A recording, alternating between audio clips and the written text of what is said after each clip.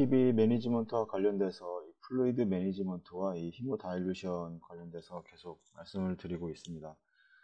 이 동종 혈액 이 RBC를 transfu, transfusion을 하는 이제 trigger가 될 수 있는 것은 이 보수적인 접근 방법은 이 선택된 환자에서 이 낮은 수준이 이제 허용이 될 수가 있고 다른 환자에서는 이제 더 높은 수준이 이제 필요할 수 있지만 이 CPB 이제 maintenance 과정에서는 이제 헤모글로빈이 이제 6.5 이상, 6.5 이상이 되어야 되고,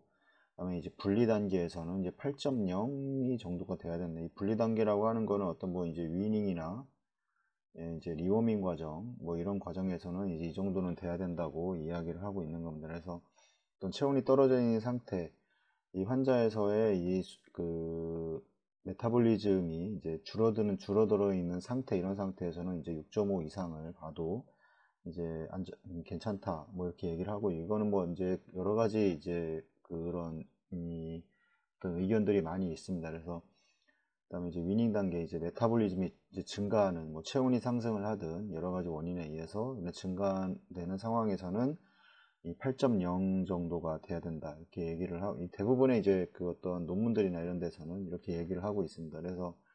예전에 무혈 수술 관련돼서 할 때도 이 성인에서의 이제 여자와 이제 남자에서 남자에서 남자를 좀 낮게 보고 여자를 좀 남자보다는 높게 해서 최소는 이제 6점 6.0 이렇게까지 낮춰서 이제 그 운영을 한 적이 있는데 여기에는 이제 ANH ANH라고 하는 이제 이런 방법을 했고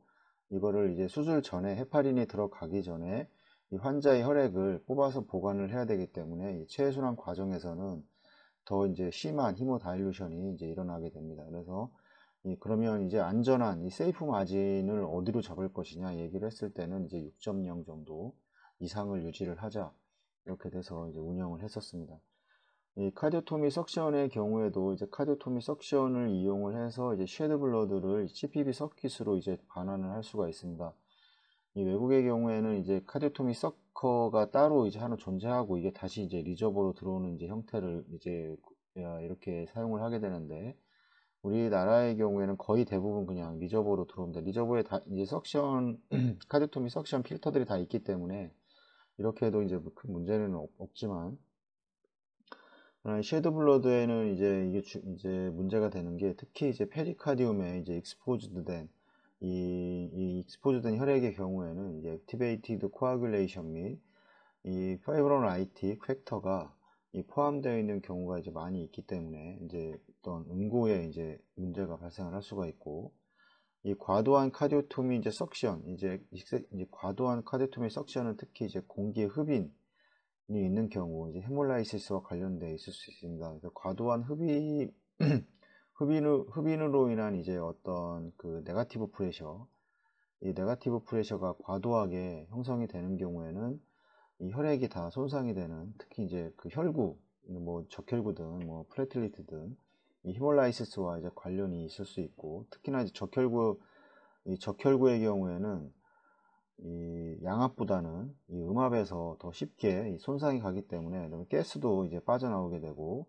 이 관련이 이런 관련이 있기 때문에 이제 과도한 카디오토미 석션은 예, 좀 조심해서 해야 됩니다. 이거를 뭐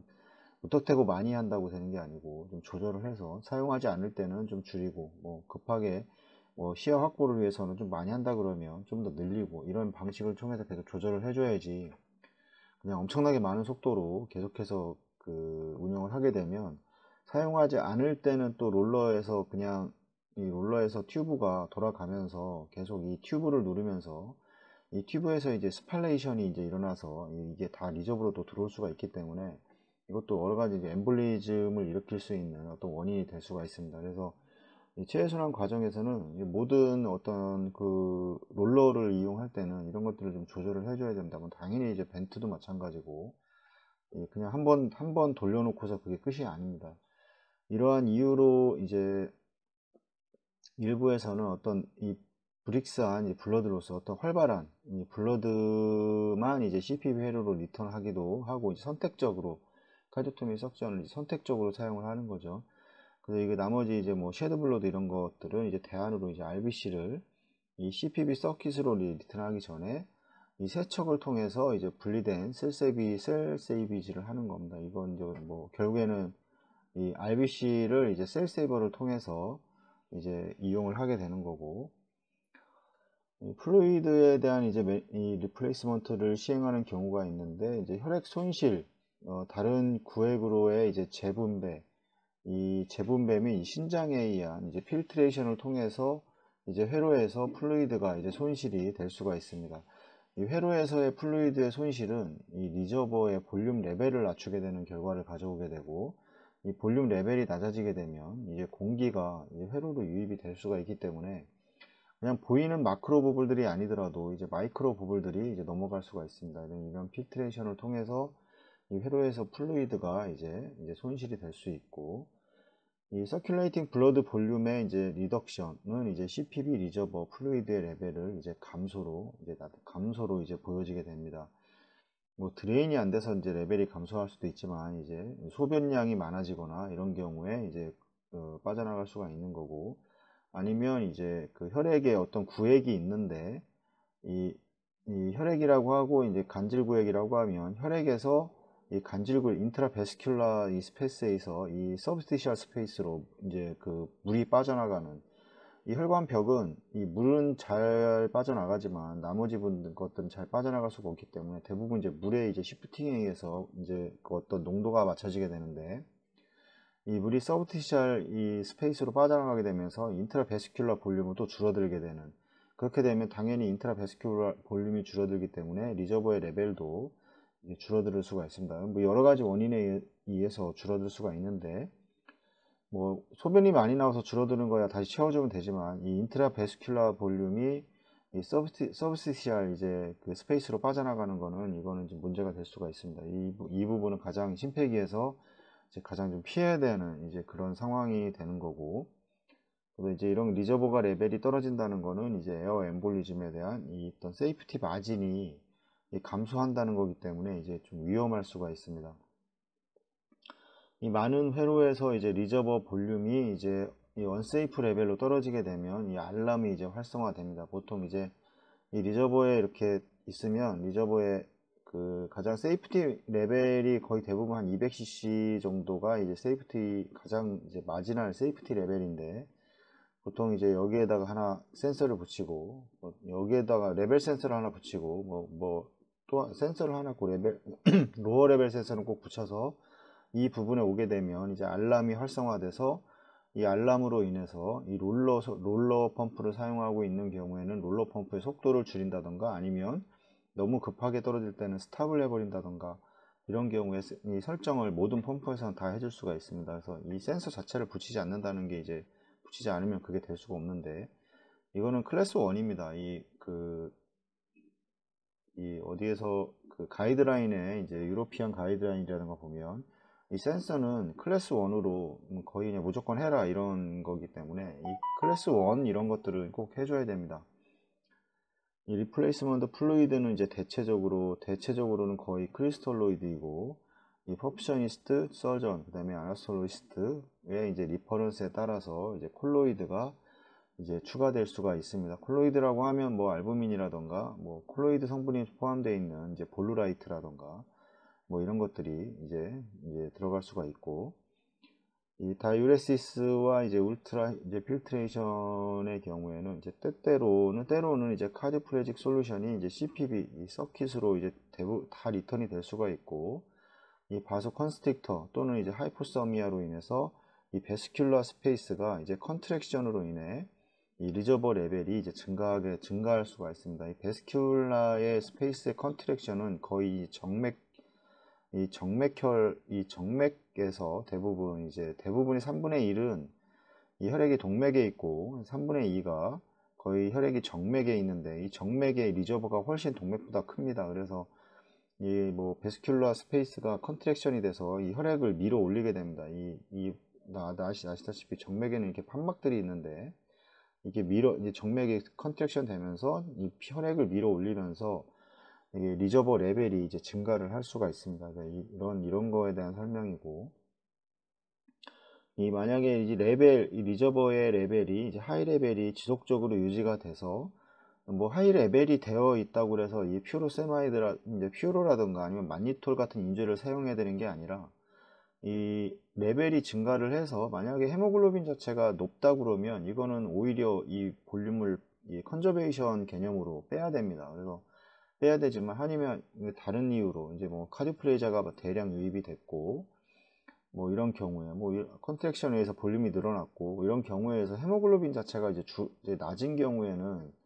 여기서 보지만 이제 이뇨를 할 수도 있지만 이제 다른 방법으로는 이제 ultrafiltration, conventional ultra 이 hemofiltration을 시행을 해서 이, 이 볼륨 수준을 낮춰서 이 헤모글로빈 수치를 어느 정도 이상 유지를 해야 되는 겁니다. 요즘 뭐 이번에 학회에서도 계속 이제 흉부외과 학회에서도 얘기했던 것들을 보면 대부분 이제 그 혈액을 사용하지 않는 수술이 이제 대부분 대세입니다. 그래서 혈액을 사용하지 않으려고 하는 노력들을 많이 하고 있는데 이건 예전부터 그 제가 세종에서도 교육을 받고 세종에 상당히 오랫동안 다니면서도 이 무혈 수술 관련돼서 상당히 많은 이제 공을 들였던 게 확실히 사실입니다. 뭐 그분 한, 그 중에 한 분이 또 마취과 선생님께서 뭐 여호와의 증인이기도 하셨고 뭐 이런 것도 있지만 원래 무혈 수술 관련된 게 모든 그 이런 것들이 최초로 다 이제 그 여호와의 증인 때문에 이제 발전하게 되는 계기가 됐던 게 이제 어떤 무혈 수술들이고 거기에 이제 이, 이 설명했던 RAP, retrograde autologous priming이라는 이런 방법이 아주 오래전에 개발이 돼서 지금도 계속 사용을 하고 이 RAP는 되게 효과적입니다. 그래서 저도 루틴으로 항상 사용을 하게 되고 거의 대부분 수술에서 피를 거의 사용하지 않습니다. 이 RAP를 시행을 해서 그 다음에 그래서 이제 피를 사용을 하지 말자는 게 이게 전 세계적인 어떤 그래서 이제 미니멀 인베이시브도 시행을 하게 되는 거고 출혈 출혈이 많아지게 되면 또 피를 사용하게 되는 거고 이런 것들이기 때문에 그냥 무턱대고 피를 사용을 하면 안 됩니다. 계산이 가능하고 이 헤모, 히모 다일루션으로 인해서 헤마토크리트가 얼마까지 저하될 수 있을지를 다 계산이 가능합니다. 계산이 가능해서 이 환자의 볼륨도 볼륨의 양도 또 계산이 가능하고 이렇게 해서 이 혈액을 사용하지 않는 방향으로 가는 게 추세이기 때문에 그냥 무턱대고 루틴으로 그냥 혈액을 뭐 두세 파인트 뭐 몇 파인트씩 사용을 한다거나 지금 더군다나 이제 COVID로 인해서 혈액이 수, 혈액 수급이 상당히 좀 부족한데 이렇게 무턱대고 사용을 하면 안 됩니다. 그리고 뭐 이렇게 사, 혈액을 사용했다고 해서 이 뭐 그 환자가 뭐 더 좋냐 뭐 이런 것도 아니고 뭐 여러 가지 논문에는 혈액을 사용하지 않는 환자들이 뭐 hospital day가 더 적, 적어지고 환자 회복도 빠르다 뭐 이런 논문도 있고 이런 것들을 이런 게 있, 으니 이제 그 혈액의 사용을 할 때 좀 그 너무 그 아무런 계산도 없이 이렇게 하는 것보다는 좀 더 그 좀 세밀하게 펌프를 운영할 필요가 있습니다. 그 대신에 이제 물과 electrolyte를 제거하기 위해서 회로에 이제 ultrafiltration device를 이용을 해서 이 과도하게 증 reservoir에 과도하게 증가되어 있는 이 그 수분을 이제 이런 것들을 제거를 해줄 수가 있습니다. 당연히 이제 그 urine이 생성이 이제 정상이 되어야 되는데 이 urine production을 이제 적정한 renal perfusion sign으로 보통은 이제 식별을 하게 됩니다. 체외순환, 체외순환은, 체외순환을 시작을 하고, 이제 ACC, 이제 aorta cross clamp를 on을 해버리게 되면, 이 모든 이 모니터에 나와 있는 수치는 다 flat하게 보이게 됩니다. 어느 하나 웨이브가 나오는 게 없는데, 이 중에서 볼 수 있는 거는, 어, CVP하고, 그 다음에 뭐 PAP의 수치가 거의 0으로 떨어져 있고, 그 다음에 A line에 이제 mean pressure, mean BP를, mean BP만 볼 수가 있는데, 여기서 이제 mean BP를 가지고 이제 cardiac output을 형성, 펌프, pump flow rate를 통해서 이제 이 mean BP를 유지를 하게 되는데, 이 mean BP를 유지를 해서 우리가 식별할 수 있는 거는 결국에는 이제 renal output이, renal perfusion이 잘 되고 있나. 그래서 이거 renal perfusion이 잘 된다는 거는 이제 소변이 잘 나온다는 소리인데, 이거를 확인을 하고 식별을 하고 이제, 정량화를 해야 하고 적절한 이제 플루즈, fluid management를 이제 지원을 해야 됩니다. 소변이 안 나온다고 하면 fluid를 더 넣을 수가 없습니다. 이럴 때는 뭐 안 나온다고 하고 reservoir level이 많다고 하면 이제 그 ultra hemofiltration을 시행을 해서 그 맞춰줘야 되는 거고 특히 이제 prime solution에 이제 만니톨이 존재하는 경우에 이제 hemodilution으로 인한 이 low plasma 이 oncotic pressure로 인해서 매우 높은 이 그 flow 리 urine flow rate를 이제 보일 수가 있습니다. 그래서 이 볼륨을 많이 가지고 있는 이, 혈, 이 혈관 안의 볼륨보다는 이 서브스티셜 스페이스의 볼륨을 많이 가지고 있던 환자들이 최순환을 운영을 하면서 이게 만니톨이라던가 뭐 알부민 뭐 여러 가지 이런 이제 고농도 삼투압 제제가 들어가면서 물이 일로 땡겨져 오게 되고 그러면서 소변량이 이제 늘어나는 것을 많이 볼 수가 있는데 이거는 뭐 좋은 현상이라고 볼 수 있습니다. 왜냐하면 이, 이 서브스티셜에 부종으로 작용해 있던 것들이 빠져나오면서 이제 그 조직에서의 부종이 이제 빠져나가는 거기 때문에 이런 것들은 뭐 환자한테 이게 더 좋은 효과라고 할 수 있습니다. 그래서 이런 것들은 이 볼륨 양에 따라서 오줌이 이제 어, 적정선 이상을 나와야 될 때고 있는 거고 체외순환 과정에서 그 환자의 이제 볼륨량을 적정하게 맞춰줄 수 있다면 환자의 상태는 좀 더 더 그 회복하는 데 좋을 겁니다. 이거 뭐 빈, 뭐그 문요, 빈뇨, 뭐이 이 올리규리아 상태가 된다 그러면 시간당 1ml 이하 이 부적절한 레날 퍼퓨전을 나타낼 수가 있고 이, 이, 어떤 조사를 통해서 조사를 시작을 해야 됩니다. 어떤 원인이 발생을 했는지 이 부적절한 renal perfusion은 뭐 이 환자의 퍼, pump perfusion rate는 높은데 이 혈압이 낮아가지고 이제 그럴 수도 있고 perfusion이 아무리 높아도 이 환자의 미, 이 혈압이 어느 범위 이상을 넘어가지 않으면 이 오줌이 잘 안 나옵니다. 이게 왜냐면 결국에는 filtration이기 때문에 이, 이 정수압이 있어야 됩니다. 이 filtration은 이, 이 kidney에서 나와 kidney나 artery에서 어떤 정수압을 이룩해서 filtration이 돼야 되는데 이 정수압 이 혈압이 낮아버리게 되면 이 정수압 자체가 낮아지기 때문에 이 filtration이 잘 되지 않고 그 이런 어떤 원인을 조사를 해야 됩니다. flow는 적 flow는 적정에 가고 있는지 혈압은 적정하게 유지가 되고 있는지 이러, 이게 둘 중에 다 안 맞는다 그러면 이제 이 소변이 잘 나올 수가 없습니다.